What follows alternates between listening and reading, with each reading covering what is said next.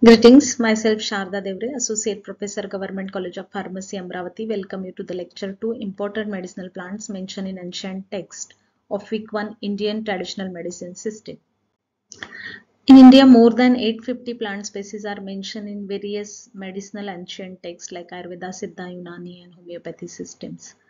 And in that first one, we will learn that is a Withania somnifera belonging to family Solanaceae Commonly it is called as ashwagandha and in English it is called as wild cherry. It is found throughout the drier and subtropical parts of India. In various systems like Ayurveda, Unani and Siddha, what names are given to these plants are mentioned here. And for cultivation purpose also there are more than 10 to 12 developed varieties are available in India. Out of these Nagori, Jawahar, Poshita or are commonly used by the cultivars this particular plant is having lot importance in all the ancient systems mentioned in the first lecture and it is found to be antioxidant, immunomodulator and energy giving. It also helps to improve the overall health and hence it is important from the therapeutic point of view. Its roots, leaves, fruits and seeds are used for the various health benefits but root is found to be most important plant part for therapeutic uses. It is very famous for its adaptogenic immunomodulator and antioxidant properties but along with it is very famous for its anti-inflammatory and anti-arthritic properties due to the presence of the steroidal compounds which are called as withanolides. It also contains the alkaloids and the withanine alkaloid is found to be sedative and hypnotic and that's why this plant is found to be useful in a stress management also. Leaves are used for again anti-inflammatory and hepatoprotective antibacterial uh, uses and it's one of the important compound that is a withanolide withaferin A is found to be useful in treatment of the cancer and also found to be the hepatoprotective and antibacterial. As per uh, Indian pharmacopoeia 3 to 6 gram of the root powder is mentioned for its therapeutic benefits.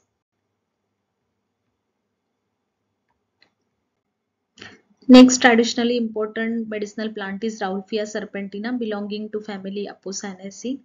Commonly it is called as Sarpagandha Rauwolfia root serpentina, Indian snake root. It is called as snake root because the shape of the roots is wavy. It looks like a snake and that's why it is called as a snake root. In folk communities, it is also called as Chota Chand. It is naturally found to be present in sub-Himalayas tract, Western Ghats and Andamans. But due to its potential commercial value, it is cultivated in different parts of the India by, very, by different farmers. The roots are the very important part of these plants from the therapeutic benefits and these roots contain the indole alkaloids that is the reserpine, ajmalicin, ajmalin, serpentine, yohimbine. Ajmalin name is given in the memory of Hakim Ajmal Khan by his PhD student. These compounds, especially reserpine and rescinnamine are found to be antihypertensive. Ajmalicin, reserpine are found to be tranquilizers. Deserpidine, which is found to be sedative and ajmalin as an antiarrhythmic activity. So this particular root powder is useful in hypertension, in neuropsychiatric disorders, psychosis and even in a schizophrenia. This drug powder is contraindicated in depression, bleeding disorders, gastric and duodenal ulcers. Even it is contraindicated in pregnancy, being teratogenic and abortifacient potential. As per pharmacopoeia 600 milligram root powder is mention as average daily dose next important medicinal plant is asparagus racemosus belonging to family asparagaceae commonly it is called as shatavari shatamuli और shatapadi shatavirya and various names are mention for in Ayurvedic Unani and Siddha system It is naturally found to be in various tropical and subtropical parts of India, including Andamans and even to the ascending to the Himalayas. The roots are important part of this plant, which is having a number of therapeutic beneficials benefits as its name is that shatavari shata means 100 and avari is related to that 100 times power or immunity booster these particular roots are found. These roots contain various steroidal saponins that is shatavarins 1 to 4 and these are found to be responsible for the various benefits especially the benefit in the sexual debility for spermatogenesis. Like ashwagandha shatavari is also found to improve the overall health of the human being Next plant is Cassia angustifolia belonging to family Caesalpiniaceae or Leguminosae. Commonly it is called as senna.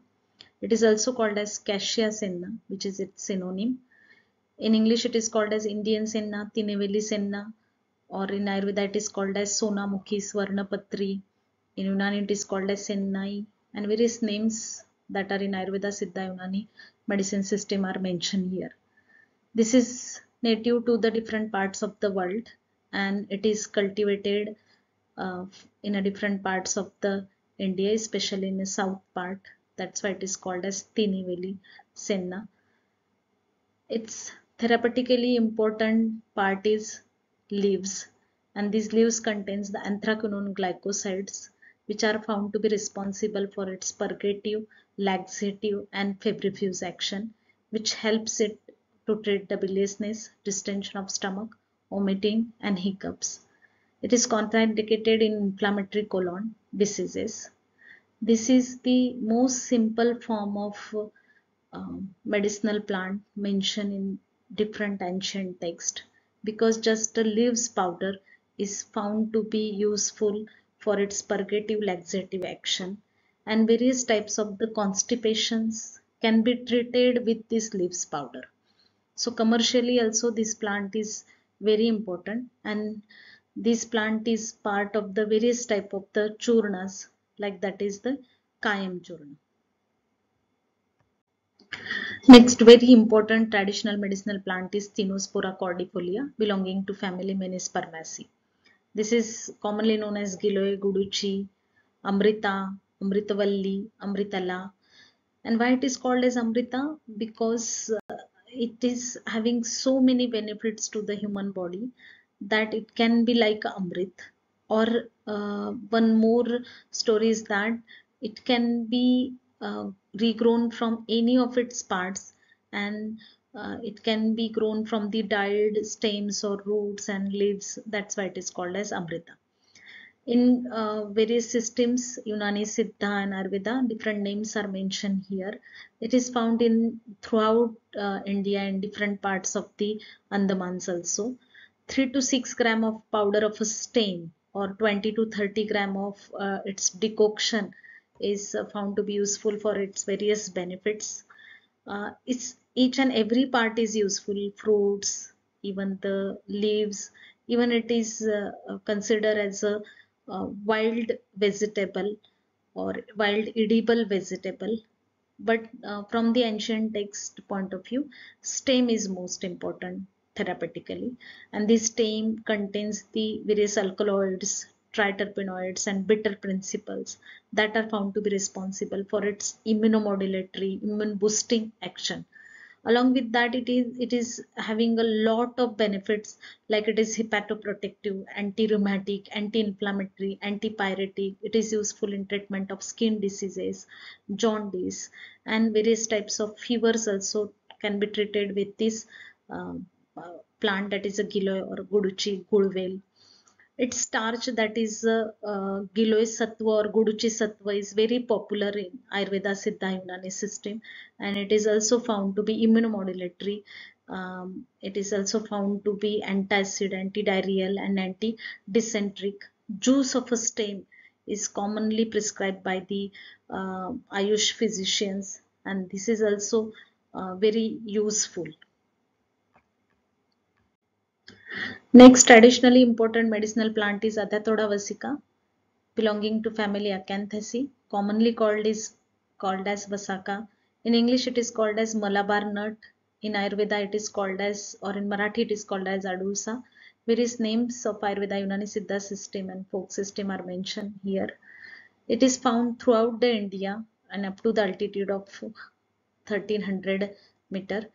Its leaves and inflorescence are uh, important parts that are useful for its bronchodilatory and expectorant action.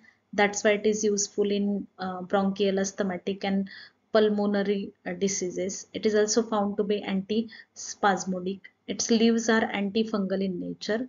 Leaf juice and uh, leaf decoction or root powder are generally prescribed by the Ayush physicians for its bronchodilator expectorant action. And it is very useful very commonly prescribed. Even in market uh, by the name of Adusa this is available as a OTC product for the treatment of cough and cold. Next plant that is a Bacopa monnieri belonging to family Scrophulariaceae and it is commonly called as Brahmi or thyme leaf gratiola it is also called as a Nir Brahmi. There is always confusion that Jala Brahmi and Brahmi or Nira Brahmi. Actually, this single plant is called as a Brahmi or Nir Brahmi or Jal Brahmi. It is always confused with the centella, which we will study in a next uh, lecture. So, synonym is Herpestis monnieri or Moniera cuneifolia and it is found to be in different parts of the India, especially in damp marshy areas. The chemical constituents of these aerial parts are uh, alkaloids as well as the steroidal saponins.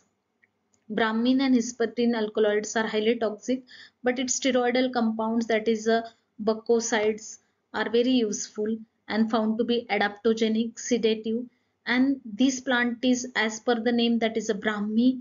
It is responsible uh, for the uh, good brain function. So it is known as a nervine tonic. It is useful in memory enhancement. It is useful in various psychic disorders. And it is also found to be useful in asthma. And it is also found to be useful in diarrhea. These particular plants 1 to 3 gram powder as per pharmacopoeia can be used daily for its benefits. These are the different uh, marketed formulations of the studied uh, medicinal plants that are mentioned in uh, ancient text and hope you all have uh, found it to be informative and this lecture is found to be a part of a happy learning of our ancient system. Thank you.